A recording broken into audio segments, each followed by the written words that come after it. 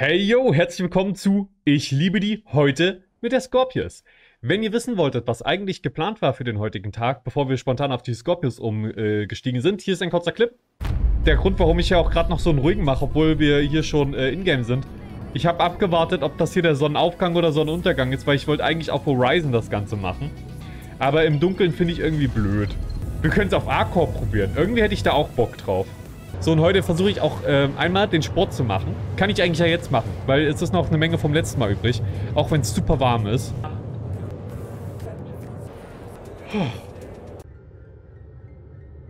Wir gucken nur, ob es hier irgendwo... Oh, nein, nein, nein, warum, warum sinkt wer? Warum sinkt wer? Warum sinkt... Was ist das denn? Roter Alarm! Ah! Ach so, wir sind Sperrgebiet. Ah, okay, deshalb, ähm... Okay. Hä, aber heißt das, man kann hier nirgendwo landen oder was? Brauchen irgendwas, was auf der sonnenzugewandten Seite ist. Wie Area 4. Da hast du. Guck mal, da sehe ich doch direkt ein halbes Dutzend Landingpads. Nein, nein, nein, nein, nein, nein, nein, nein. Uh, uh, uh. Ah! Achtung, Achtung, raise the Anflug! Zu dem Anflug! Wer jetzt hier so schräg einparkt und dann wird das gleich mega geil, wenn wir... Wenn wir äh, dann da raus... Ich, ich will dann da rein, mich, mich dort rein... Alter, warte mal kurz. Ist das da eine Scorpius, äh, Scorpius in the Sky? Oh Gott. Aber jetzt habt ihr schon meinen geilen neuen Effekt gesehen, ne? Denn ist der nicht Hammer? Ist das nicht hammer cool, dass ich jetzt bei einer Raisin-Landung den hier machen kann?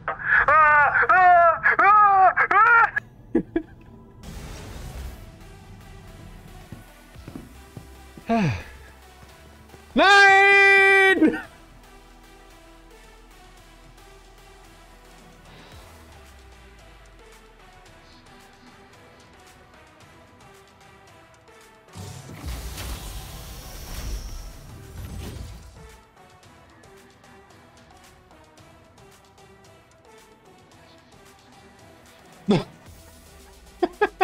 Und dann schiebt sich die Scorpius ins Bild. Machen wir jetzt einen Scorpius, ich liebe die. Ja, Leute, äh, also, äh, Bago, darf ich mir zufälligerweise diese wunderschöne Scorpius ähm, ausleihen? So, und jetzt schauen wir uns aber die Scorpius an, die richtig geil ist. Äh, wirklich, ich bin froh, dass es sich jetzt ergeben hat, dass der gute Impaku hier mit seiner Scorpius war und sie uns direkt unterbreitet hat und mir gesagt hat, ich darf sie benutzen, damit wir jetzt mal die Scorpius uns anschauen können. Denn die ist ultra geil. Ich liebe Schiffe, die Dinge aufklappen. Das hat sie noch und nöcher für einen ähm, Fighter. Ja, mittel, mittel oder schwer. Ja, lässt sich, wir warten einfach. Ja, es ist, was es ist. Entweder es macht was es soll. Ihr könnt damit killen oder nicht. Darum geht es hier bei dem Ding. Und ich denke mal, es hat auf jeden Fall die Kapazität. Der Turm ist gerade nach oben gefahren. Der kann sie auch nach hinten runter einklappen. Das werden wir euch auch gleich noch zeigen, denn ein Paku ist ein toller Co-Pilot und er wird mich dabei unterstützen. Äh, also für zwei Leute gemacht. Beide Leute haben vier Size 3 Hardpoints zur Verfügung. Der Pilot kann seine Waffen hier an den Flügeln auch gimbeln. Äh, dann sind es natürlich nur noch Size 2 Waffen. Äh, ansonsten 16 Size 2 Raketen heftig und eine ganze Menge Sachen zum Ausklappen und die schauen wir uns zuerst an. Äh, und ich rede nicht von den Flügeln, die sich auch noch ausklappen. Ja, man sagt ja so ein bisschen, das ist der X-Wing von Star Citizen. Es ist ein geiles Schiff und es ist so unique. Ich würde das gar nicht mit dem X-Wing vergleichen wollen. Das sind für mich komplett unterschiedliche geile Schiffe. Ähm, aber ja, wer die X-Flügelformation da so mag, der, für den ist das das richtige Schiff. So, jetzt schauen wir uns erstmal die ganzen Komponenten an. Aber zuallererst werde ich euch zeigen, wo ihr, wenn ihr ein Scorpius-Pilot seid, ein Bounty Hunter, whatever, eure Waffen unterbringt, euer Equipment. Und zwar drückt ihr den Knopf hier und dann fährt sich da einfach ein kleiner Waffenschrank auf. Ui. Ist das nicht hammergeil? äh, Trondi, vielen Dank für dein Follow. Ähm, ja, also ist das nicht hammergeil? Ich liebe das, wie, wie sich es auch nochmal zur Seite ausklappt und so. Äh, kriegen fast alle Schiffe, die Gladius hat ja zum Beispiel auch schon ihr kleines Weapon-Rack, aber hier fährt sich das so schön nach unten. Man kann einfach im Stehen direkt hingehen und das ist dann sicher hier verstaut. So, davor haben wir einmal Avionics, und dann nochmal Raider. Ihr seht schon, da klappt sich alles aus. Es ist sehr, sehr gut gemacht. Sehr, sehr zugänglich äh, für, für den Wartungsmitarbeiter oder euch, wenn ihr da Wartungsarbeiten durchführt. Äh, hier sehen wir auch schon vier Raketen. Oben sind nochmal vier und links, äh, beziehungsweise äh, links von uns, oh, gerade aus gesehen, waren da nochmal acht. Äh, und jetzt gehen wir hier nach hinten. Und da, äh, da geht es jetzt nochmal ab. Ich mache einfach mal alles auf hier. Äh, wir fangen an mit Schildgenerator. Dann geht es weiter mit der Battery. Ich finde das einfach super. Man hat super Zugang zu allen Sachen.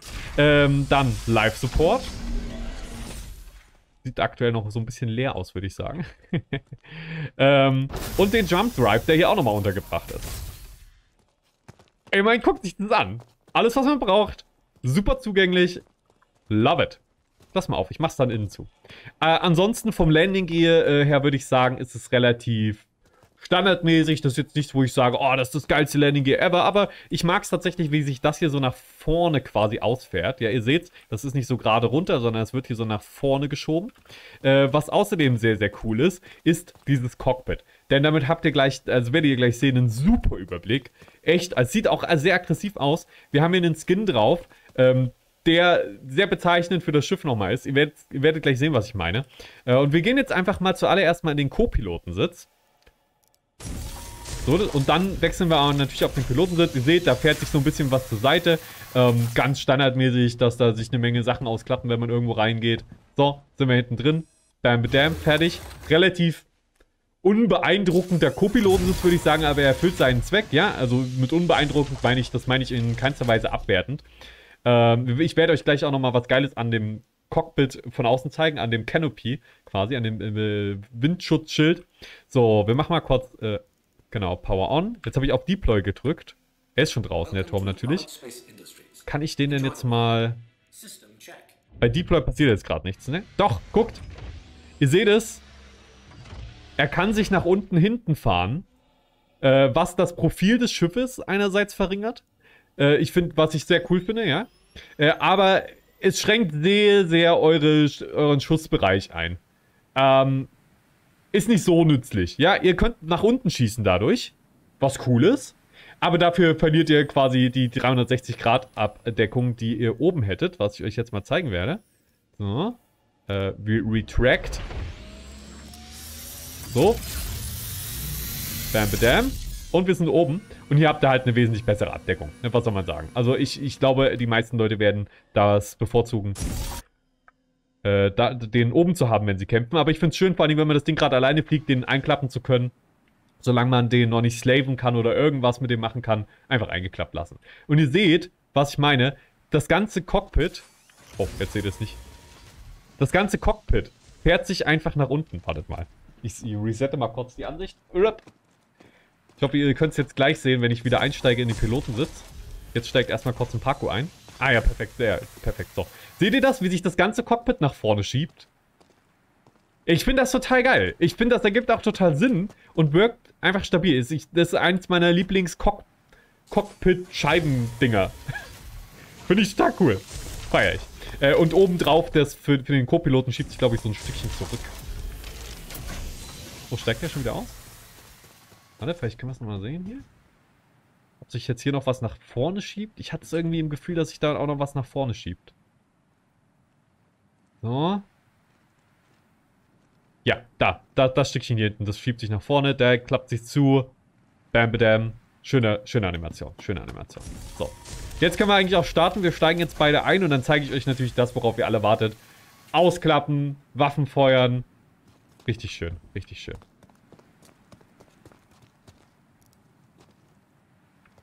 Hä? Wollen wir? Meiner will gerade irgendwie nicht so ganz.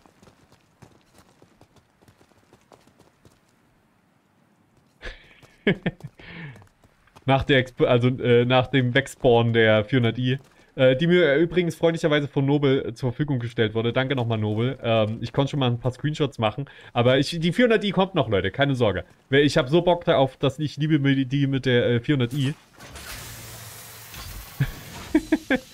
wenn wir jetzt überhaupt reinkommen. Ja. Äh, ansonsten, was ich noch zu sagen, was ich noch sagen lässt, ich weiß gar nicht, ob das immer noch geht oder inzwischen gepatcht wurde, aber man konnte mit eingeklappten Flügeln quasi mit den Waffen trotzdem schießen, was ja erstmal Sinn macht, bis man bemerkt, dass die Waffen quasi durch die Triebwerke durchschießen. Die sich übrigens auch so ein bisschen äh, nach oben und unten hin ausklappen. Wer werdet ihr jetzt denken? So. Also ihr braucht schon eine Weile als Pilot und Co-Pilot einzusteigen, einfach weil sich die Leitern immer zwischendurch dann nochmal einfahren. So. Bitte, bitte. Okay, warte. Ich glaube, ich muss die Leiter schließen und dann direkt auf Enter Pilot Seat klicken. Das gehört zur Star Citizen Experience dazu. Hoffentlich klappt's. Ja! Animation! Wow! Woohoo! Woohoo! Okay. Da sind wir. Da sind wir drin. So, und jetzt kann ich euch alles hier schön von außen zeigen, während es passiert. Wir machen die Triebwerke an. Boom, da, rumpadum. So, wir klappen das Landing Gear ein. Wie gesagt, das ist jetzt hier nicht zu Besonderes vom Landing Gear her. Aber ihr seht natürlich die Flügel. Die sind was ganz Besonderes. Deswegen werde ich es euch auch noch mal ein paar Mal zeigen. Ihr seht, man sieht direkt, dass das ein Schiff von ASI ist.